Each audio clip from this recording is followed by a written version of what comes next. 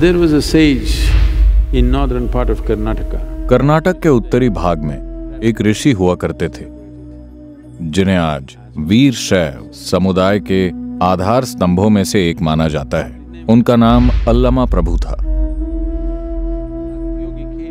एक योगी अल्लमा की तलाश में आए, क्योंकि उन्होंने अल्लमा के बहुत चर्चे सुने थे। वो उनके साथ मुकाबला करना चाहते थे।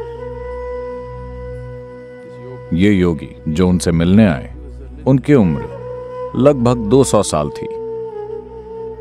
बहुत ज़बरदस्त योग का अभ्यास करके शरीर के तत्वों पर महारत हासिल करते हुए उन्होंने अपने शरीर को इतना मज़बूत बना लिया था कि उन्होंने उम्र को मात दे दी, और इस बात का उन्हें बहुत गर्व था।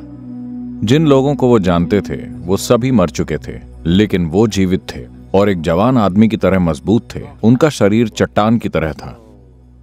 तो वो अल्लमा के पास आए। वो एक नदी के किनारे पर मिले। और उन्होंने अल्लमा से कहा देखो मैं ही असली योगी हूँ। अगर तुम मेरी परीक्षा लेना चाहते हो You take your sword, तो अपनी तलवार लेकर मेरे सिर पर मारो और देखो क्या होता है। अल्लामा ने कहा ठीक है। और अपनी तलवार ली और उनके सिर पर दे मारी। तलवार ऐसे वापस उछली जैसे किसी चट्टान से टकराई हो। तो योगी ने कहा यही मेरी ताकत है। कोई तलवार मेरे शरीर को काट नहीं सकती। मैं वास्तव में अमर हूँ। फिर उसने पूछा, तुम क्या कर सकते हो? अल्लामा हंसे और बोले, आप भी अपनी तलवार से वार करो। योगी को संकोच हुआ, क्योंकि अल्लामा चट्टान की तरह मज़बूत नहीं दिख रहे थे। वो सामान्य दिख रहे थे। अल्लामा बोले, तलवार उठाओ, घबराओ मत। तो उन्होंने तलवार उठाई और पूरी ताकत से उनके सिर पर वार किया। तलवार उनके शरीर से सीधे ऐसे निकल गई जैसे हवा से होकर गुजरी हो।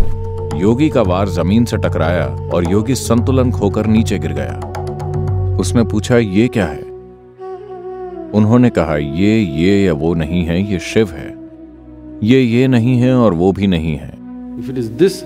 अगर ये ये हो या फिर वो हो तो इसमें कुछ गुण होंगे। ना तो ये ये है और ना ही ये वो है। ये शिव है ये वो है जो है ही नहीं।